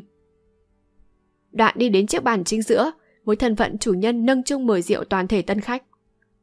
Sau khi lão nhân áo xanh nhập tiệc, bầu không khí trong sảnh mới nhẹ nhõm hơn và bắt đầu có tiếng trò chuyện dâm gian. Thiếu niên áo xanh bởi nóng lòng muốn biết thân phận của chủ nhân trang viện này, bèn nhân cơ hội mời rượu, hướng về thiếu nữ áo đỏ ngồi đối diện. Tại hạ là Âu Dương Thu, chẳng hay là nữ hiệp có còn nhớ chuyện hồi nửa năm trước không? Trong lúc nói, hai mắt chàng nhìn thẳng vào mặt đối phương, quan sát phản ứng của nàng. Nào ngờ thiếu nữ áo đỏ lần này càng lạ lùng hơn, chỉ thấy nàng thiếu nữ áo đỏ liếc nhìn chàng lầm bẩm. Sao cơ? Các hạ là Âu Dương Thu. Hồi nửa năm trước, tôi và các hạ thế nào? Thiếu niên áo xanh đúng là Âu Dương Thu, còn thiếu nữ áo lục chính là Tiểu Thúy. Hai người bị sư phụ Thái Hương Thượng Nhân dùng trường kình xô xuống tuyệt cốc, khi xuống đến nơi mới biết khinh công của mình đã đạt đến trình độ lăng hư nhiếp hộ rồi. Hai người vui mừng khôn xiết, bèn thi triển khinh công phóng đi về phía An Định Quan. Âu Dương Thu vốn định đến đại lý tìm La Võng Cơ trước, nào ngờ lại gặp chuyện này. Lòng hiếu kỳ thúc đẩy đến đây, tình cờ lại gặp La Võng Cơ. Lúc đầu Âu Dương Thu tưởng là vì mình với tại hạ đeo mặt nạ ra người do ân sư đặc chế nên La Võng Cơ không có nhận ra. Giờ đây chàng đã báo ra danh tánh. La Võng Cơ hẳn là đã nhận ra chàng, nên khi thiếu nữ áo đỏ nói xong, chàng hết sức lấy làm lạ, bèn nhìn kỹ đối phương một hồi, tin chắc mình đã không nhận lầm người, nên lại hỏi. Vậy xin hỏi nữ hiệp quý tánh phương danh? Thiếu nữ áo đỏ ngạo nghễ đáp. La Võng Cơ. Âu Dương Thu hết sức thắc mắc thầm nhủ. Chả lẽ có đến hai la võng cơ hay sao? Trên đời tuy có người cùng tên cùng họ, nhưng diện mạo sao có thể giống như vậy được? Chàng ngẫm nghĩ một hồi bỗng lại hỏi. Đã là la tỷ tỷ, sao lại không nhớ có một Âu Dương Thu đã từng đến quý phủ Ngân Kiều Thôn hồi nửa năm trước? La võng cơ ngơ ngẩn. Ngân Kiều Thôn ở đâu? Hồi nửa năm trước các hạ đến đó làm gì? Âu Dương Thu càng thêm thắc mắc lại hỏi. Ngân Kiều Thôn ở bên bờ nhị hải đại lý, đó là tổng đà của Hải Long Hội, nửa năm trước tiểu đệ cùng với La Tỷ Tỷ. La Võng Cơ lắc đầu ngắt lời. Những chuyện ấy tôi làm sao mà biết được? La Võng Cơ này chưa đến Ngân Kiều Thôn và cũng không quen biết các hạ. Nhưng La Tỷ Tỷ có quen biết với Âu Dương Thu chứ? La Võng Cơ lắc đầu, ra ý phủ nhận. Âu Dương Thu qua ánh mắt và thần sắc của thiếu nữ áo đỏ, nhận thấy rõ ràng là La Võng Cơ. Vậy mà nàng thiếu nữ áo đỏ kiên quyết phủ nhận và giọng nói rất nghiêm túc. Chẳng có chút giả dối, khiến chàng càng nghĩ càng thêm thắc mắc, Chẳng hiểu sao lại như vậy. Chàng đang nghĩ chuyện để hỏi tiếp La Võng Cơ, bỗng thấy đôi mắt dâm tà bên bàn đối diện lại nhìn trộm Tiểu Thúy. Tiểu Thúy cũng đã phát giác người ấy nhìn trộm, bất giác e thẹn cúi đầu xuống thấp. Âu Dương Thu thấy vậy mắng thầm.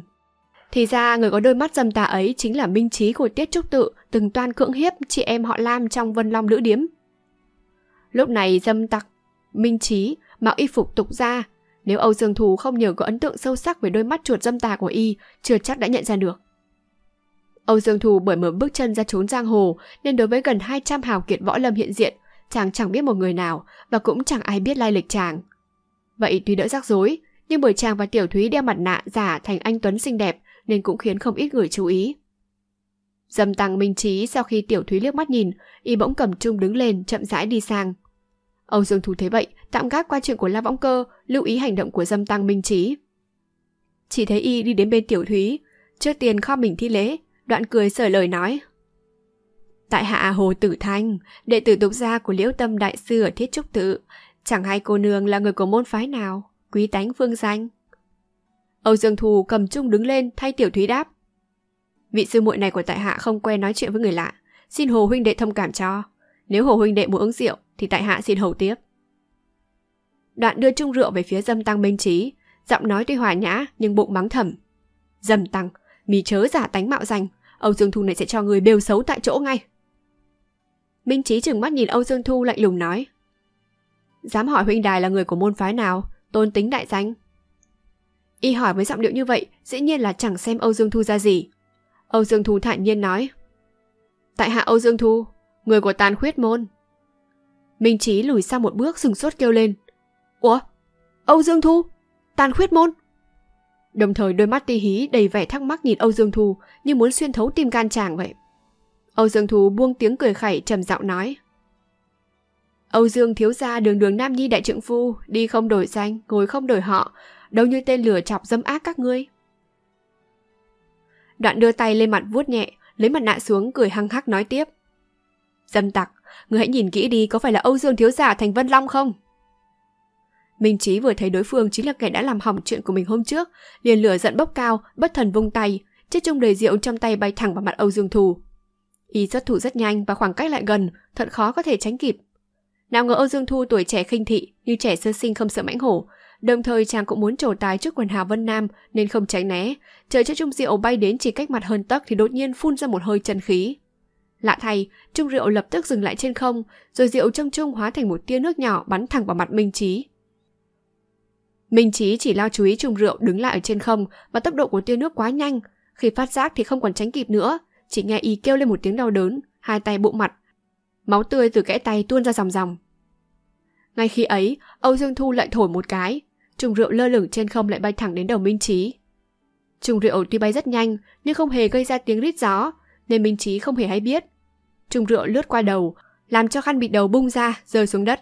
Bốp một tiếng, trùng rượu va vào tường vỡ nát. Âu Dương Thu lại buông tiếng cười hăng hắc quát. Bổn thiếu gia vì có lời thể ước lâu năm huyết tẩy thiết trúc tự với Liễu Minh Đại Sư nên hôm nay tha cho mạng chó của người một phen. Cút mau! Trước chân lực nội gia của Âu Dương Thu vừa thi thố, quần hào hết thảy đều ngơ ngẩn, cả đại sảnh in phong phắc. Minh Trí đưa tay lau máu trên mặt, hậm hực nói. Rừng còn xanh, nước còn biếc, món nợ mới hôm nay, Phật gia ghi nhớ luôn thể. Từ nay chúng ta hãng gặp đâu tính đó. Gương mặt trắng của y đã bị tia rượu xuyên thủng lỗ nhỏ dày đặc. Lúc nói tia máu vẫn không ngớt tuôn chảy nên khó có thể nhận diện. Nhưng khăn đội đầu của y đã rơi mất, lộ ra chiếc đầu nhẵn nhụi. Quần hào hiện diện đã biết y là đệ tử Phật môn cải dạng đến đây, nhưng chẳng rõ y có hiểm khích gì với thiếu niên võ phục xanh đầy sẹo tím. Minh chỉ nói xong, thểu não cất bước đi ra, nhưng vừa đi được hai bước thì bỗng có một đại hán trung niên đứng lên rời khỏi bàn, cản đường quát. Ngươi là hòa thượng ở đâu? Sao lén la lén lút, không dám với mặt thần gặp người, để lại danh hiệu rồi hãng đi cũng chẳng muộn. Minh Trí đang tức tối không nơi phát tiết, chẳng ngờ có kẻ chặn đường. Y tuy thọ thường nhưng công lực thì vẫn còn, chẳng chịu kém quát. Phật ra là đệ tử thứ tọa của Liễu Tâm Đại Sư ở Thiết Trúc Tự. Pháp hiệu Minh Trí, ngươi muốn gì? Đại hán trung niên như e sợ uy danh của Thiết Trúc Tự, thoáng lưỡng lự rồi tránh ra ngay.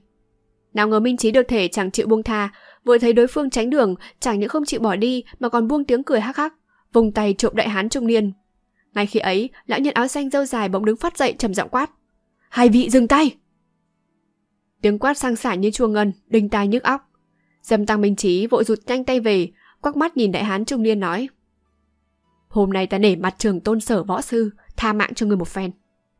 Đoạn liền phóng nhanh ra khỏi đại sảnh. Đại hán trung niên bẽ mặt bẽ lẽn trở về chỗ ngồi.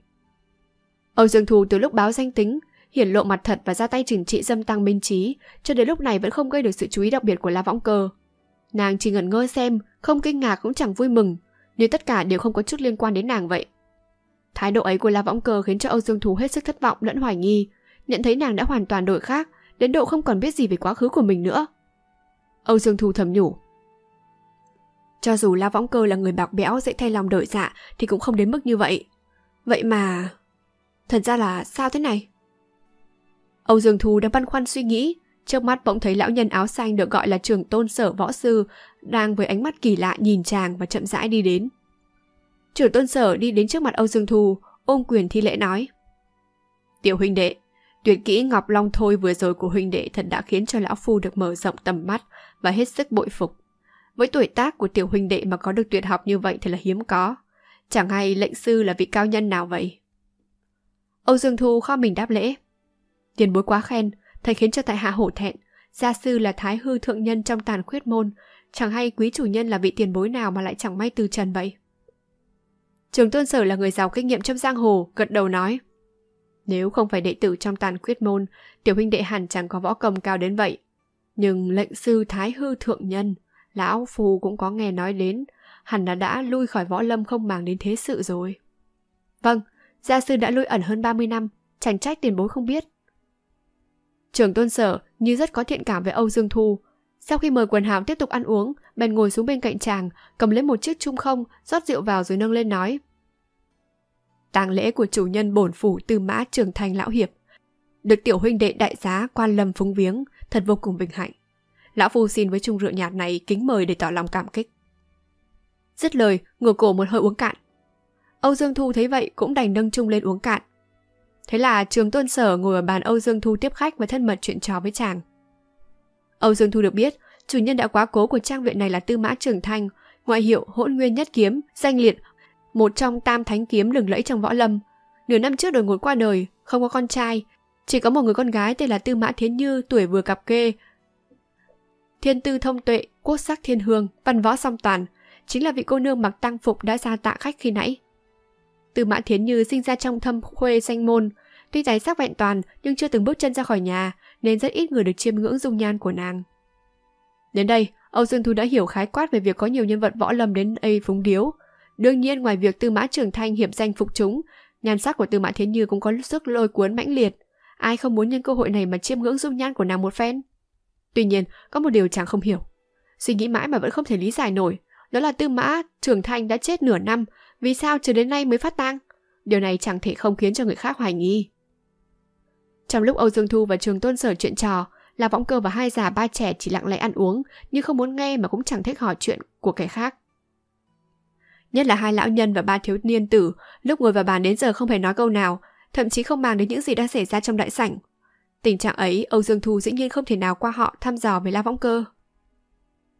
Tiểu Thúy ngồi bên Âu Dương Thu bởi không nói được nên hết sức thích ứng với tình trạng lẳng lặng này. Nàng như bị La Võng Cơ và hai già ba trẻ ảnh hưởng, cũng lặng lẽ ngồi ăn uống. Thời gian trôi nhanh, tiệc rượu sắp kết thúc, giờ mùi đã đến. Trường Tôn Sở đứng lên, gật đầu chào mọi người trong bàn, theo thói quen vỗ tay ba tiếng, cao giọng nói. Giờ mùi đã đến, xin các vị bằng hữu và hậu đường cúng tế linh cữu của tệ chủ nhân. Quần hào liền lập tức đứng lên, lục tục đi vào hậu đường. Phải biết, hỗn nguyên nhất kiếm từ mã trưởng thanh trong tam thánh kiếm thanh danh lừng lẫy trong võ lâm rất được tôn kính. Trường tôn sở tuy là võ sư trong phủ, nhưng từ mã trưởng thanh lúc sinh tiền xem ông như thủ túc, và võ công cũng suýt soát với chủ nhân, rất được đồng đạo võ lâm kính trọng, nên mọi cử chỉ của ông trước quần hào đều có một sự tôn nghiêm mang tính quyền uy. Chẳng kể cái khác, chỉ việc dâm tăng minh trí bị một tiếng quát của ông đã tự động dừng tay, vị nể mà bỏ đi. Với thanh uy của thiết trúc tự mà còn phải nhường ông phần nào, vậy đủ thấy vị trường tôn sở võ sư này không phải là một người đơn giản. Âu Dương Thù lòng đầy tâm sự theo sau La Võng Cơ với hai lão nhân và thiếu niên, cùng Tiểu Thúy sóng vai đi vào hậu viện. Khu hậu viện này rất rộng, cây cối xum xuê, lối đi khúc khửu. Giữa có một hòn dạ sơn nhỏ, vòng qua dạ sơn là đến một gian hoa sảnh rất trang nhã. Âu Dương Thu đảo mắt nhìn quanh, nhận thấy từng ngọn cây cọng cỏ trong vườn đều được chăm sóc tỉa xén rất kỹ lưỡng. Đủ thấy từ má trưởng thanh lúc sinh tiền chẳng những là một vị hào kiệt võ lâm mà còn là một người thích trồng cây làm vườn. Sau khi vòng qua hoa sảnh, Âu Dương Thu nghe có tiếng nhạc xúc động lòng người. Chàng tuy không sành với âm nhạc, nhưng nghe kỹ dường như không phải là nhạc tang, chẳng rõ là nhạc khúc gì. Nhưng từ khi nghe tiếng nhạc, Âu Dương Thu cảm thấy lỏng xa xuyến lạ, muốn đến đó xem cho rõ. Vòng qua hoa sảnh lại đi thêm một đoạn nữa. Lúc này những người đi trước dường như đều bị tiếng nhạc cảm nhiễm, bước chân bất giác tăng nhanh hơn. Âu Dương Thù càng nghe càng thấy không ổn, chẳng hiểu sao lòng bỗng dưng cảm thấy buồn ra giết, cần phải tìm một người thân để thổ lộ hoặc khóc to lên một phen cho hạ. Thế là chàng vội kề tai nói khẽ với Tiểu Thúy, rồi cùng vận tâm pháp sư môn chống lại tiếng nhạc. Tâm pháp huyền môn do Thái Hư Thượng Nhân truyền cho họ chính là căn cơ nội công của đạo gia hết sức kỳ diệu. Một khi vận dụng lập tức linh đài trong sáng, vật ngã lưỡng vong. Chẳng những không bị ngoại cảnh chi phối, còn như tu vi thâm hậu, có thể nghe được tiếng lá rơi trong vòng trăm trượng. Bất kể lúc ngồi hay đứng cũng có thể vận dụng như ý. La sau, Âu Dương Thu cảm thấy tâm thần đã ổn định, không còn bị tiếng nhạc tác động nữa, cùng với Tiểu Thúy bước chân tự động chậm lại, tuột xuống phía sau quần hào. Qua khỏi sân vườn hoa sảnh, tiến vào một khu vườn khác, tiếng nhạc mỗi lúc một gần, vọng vào tai chát chúa. Âu Dương Thu và Tiểu Thúy theo sau quần hào chú ý quan sát, chỉ thấy tất cả mọi người ngơ ngẩn như bị chúng tà, lặng lặng nhanh bước tiến tới. Qua khỏi ba khu vườn, đến một hoa viên rộng thanh thang, tiếng nhạc chính là từ trong một ngôi nhà to, ở giữa hoa viên này vọng ra. Âu Dương Thù với Tiểu Thúy sau khi vào đến hoa viên không theo quần hào đi thẳng đến ngôi nhà to ấy. Hai người dừng lại quan sát diễn biến. Hoa viên này được bao quanh bởi một bức tường cao bằng đá xanh. Trong hoa viên, cây cối sum xuê, hoa cỏ tươi thắm, không có gì khác lạ khả nghi. Ngôi nhà to ấy nằm giữa hoa viên rất không cân xứng. Chẳng rõ chủ nhân xây ngôi nhà này trong hoa viên với mục đích gì. Âu Dương Thù đảo mắt nhìn quanh một hồi, thấy quần hào lần lượt đã đi vào ngôi nhà to ấy. Trong hoa viên không còn người nào nữa. Chàng nhận thấy trong tòa trang viện này đâu đâu cũng có vẻ lạnh tanh và thần bí. Chàng tuy không quen biết Tư Mã Trường Thanh, nhưng từng nghe nói ông ta là một hảo sĩ võ lâm giàu có. Lẽ ra phải có nhiều người ở ngoài cửa đón tiếp khách. Sao trong trang viên lại lặng lẽ thế này? Bọn gia đình đi đâu hết cả rồi? Tại sao lúc tiếp đãi khách, ngoài mấy người gia đình bưng thức ăn, chỉ có một mình trường tôn sở võ sư? Nếu linh cữu của Tư Mã Trường Thanh được đặt trong ngôi nhà to này, hiện quần hào đã đến, lẽ ra phải có người tiếp đó mới đúng. Sao lại chẳng có người nào thế này? Trường tôn sở võ sư đã vào trong ngôi nhà to trước quần hào, nhưng chẳng thấy trở ra nữa. Âu Dương Thú đang hồ nghi phân vân, bỗng nhiên có tiếng khóc nức nở từ trong ngôi nhà to kia vọng ra. Tiếng khóc mỗi lúc một to, như thể người khóc đã bi thương đến mức tan nát lòng nát dạ, dù có khóc đến vỡ cuống họng cũng chẳng màng. Hiển nhiên tiếng khóc ấy do quần hào phát ra khiến Âu Dương Thu thật không biết sao hiểu nổi. Định cùng với Tiểu Thúy lui ra, không bàn đến chuyện này nữa, nhưng ngặt nỗi trong nhà có la võng cơ, chẳng thể không quan tâm đến. La võng cơ từng chẳng quản phản bội phụ thân, xả thân cứu chàng. Trong thâm tâm chàng, là võng cơ đã là ân nhân tái sinh của chàng. Đã gặp lại tại đây, chàng phải làm sáng tỏ sự thật. Cho dù La võng cơ đã quên hết tình xưa nghĩa cũ, chàng cũng phải hỏi cho ra lẽ. Hơn nữa, thần thái của La Võng Cơ với cử chỉ của hai lão nhân và ba thiếu niên đã khiến chàng hết sức hoài nghi. Tiểu Thúy như rất cảm hứng đối với tiếng gào khóc, đã mấy lần định cất bước đi đến ngôi nhà to, nhưng vì nàng luôn tuân lời Âu Dương Thu, thấy chàng đang trầm ngâm suy tư nên đành ở lại bên chàng. Âu Dương Thu ngẫm nghĩ hồi lâu, sau cùng nhận thấy rất cần phải vào trong ngôi nhà to cho ra lẽ, bèn đeo mặt nạ trở lại, ra hiệu với Tiểu Thúy rồi sải bước tiến tới. Nào ngờ chàng vừa đi được mấy bước, tiếng khóc bi thương trong nhà đột nhiên ngưng bặt. Tiếng khóc vừa ngưng, tiếng nhạc lại nổi lên, nhưng lần này là một khúc điệu khác, khiến người nghe cảm thấy lòng vui phơi phới, thật là muốn cười to lên. Quả nhiên tiếng nhạc nổi lên không bao lâu, Âu Dương Thu và Tiểu Thúy còn cách ngôi nhà to chừng mười mấy trượng, bỗng nghe trăm người trong nhà cất tiếng cười vang. Quần hào hết khóc đến cười, hiển nhiên đã bị tiếng nhạc ảnh hưởng điều khiển. Nếu tiếp tục thế này, người có công lực cao đến mấy cũng khó mà thoát chết. Ông Dương Thu lẩm bẩm. Trên đời sẽ lại có chuyện quái lạ thế? Đoạn cùng với Tiểu Thúy bước nhanh tới ngôi nhà to. Chỉ thấy ngôi nhà này được xây bằng đá xanh, mái ngói cũng màu xanh, cao to đổ rộ, hệt như ngọn núi xanh trơ vơ nằm giữa hoa viên. Trước nhà là kỳ hoa dị thảo, hai hàng cây ăn trái cao cỡ đầu người, che khuất nửa phần vách đá, gồm một cửa chính và bốn cửa sổ, tổng cộng 5 gian. Lúc này hai cánh cửa đây đang mở. Âu Dương Thu và Tiểu Thúy vừa đến gần cửa đã trông thấy một bàn thờ đặt ngay giữa nhà, khói nhang nghi ngút. Sau bàn thờ là một bức màn trắng chắn ngang, chính là linh đường của Tư Mã Trường Thanh. Tiếng nhạc dường như từ trong bức màn trắng vọng ra, phối hợp với tiếng cười vang dội trong nhà, nghe hết sức quái dị. Âu Dương Thu lắng tai nghe, tiếng cười của quần hào lúc to lúc nhỏ, hoàn toàn dựa theo tiếng nhạc trầm bổng. Trước linh đường, chẳng những không thấy Tư Mã Thiến Như, cũng chẳng thấy có trường tôn sở võ sư, thậm chí cả một gia đình cũng không có. Sao bàn thờ bị bức màn trắng che khuất, bên trong tuy cũng có ánh nến đấy, nhưng không nhìn thấy được một vật gì cả. Trong mấy trăm nhân vật võ lâm, chỉ có La Võng Cơ với hai lão nhân và ba thiếu niên là không bị tiếng nhạc ảnh hưởng. Tuy họ cũng ngồi xếp bằng trước bàn thờ, nhưng hoàn toàn điềm nhiên trước cảnh quần hào cười vang. Âu Dương Thu với Tiểu Thúy xuất hiện trước cửa. Tuy khiến La Võng Cơ kinh động, nhưng nàng chỉ thoáng nghiêng đầu nhìn, nhưng liền quay vào ngay. Có lão nhân mặt dài cầm nhọn, đại hán trung niên mặt lộ râu sồm và ba thiếu niên mày thanh mục tú thì hoàn toàn không đếm xỉa đến, như là không hề trông thấy hai người vậy. Âu Dương Thu thế vậy, biết là họ hẳn có phương pháp chống lại tiếng nhạc, nhưng nhìn dáng vẻ ngơ ngẩn của họ, hiển nhiên họ không bị tiếng nhạc cảm nhiễm, nhưng cũng đã trúng về một thứ quái quỷ gì đó. Chàng đang quan sát suy nghĩ, bỗng nhiên tiếng nhạc ngưng bặt, tiếng cười quần hào cũng ngưng theo. Nhưng người nào cũng chán đẫm mồ hôi, hiển nhiên là họ đã tiêu hao rất nhiều chân lực. Lúc này trở nên tĩnh lặng lạ thường, nếu không có tiếng thở, chẳng ai tin là trong ngôi nhà có nhiều cao thủ võ lâm thế này. Khói nhang nghi ngút, ánh đến chập chờn, màn trắng lay động, tuy lúc ban ngày cũng đầy vẻ ghê rợn. Âu Dương Thù sau khi xem xét tất cả những gì trong nhà, bèn bảo Tiểu Thúy châm chừng ở bên ngoài cửa. Chàng sải bước đi vào nhà. Quần hào trong nhà lúc này đã lâm vào trạng thái ngây dại, không ai chú ý đến hành động của Âu Dương Thù. Theo Âu Dương Thù nghĩ, quần hào đã bị tiếng nhạc khống chế, mà tiếng nhạc thì lại ở trong màn trắng. Vậy thì cốt lõi của vấn đề là ở trong màn trắng này, chỉ cần xông vào trong ấy là khám phá ra được bí mật ngay. Khoảng trống trước bàn thờ đã bị những người ngồi xếp bằng trắng hết. Âu Dương Thù muốn vào trong màn trắng là phải phóng qua đầu quần hào. Nhưng ngay khi chàng phóng qua đầu quần hào, sắp đặt chân xuống một chỗ trống trước bàn thờ. La Võng Cơ và hai lão nhân và bát thiếu niên ngồi thành hàng ngang, đột nhiên cùng lúc vung tay, một trường bổ vào Âu Dương Thù.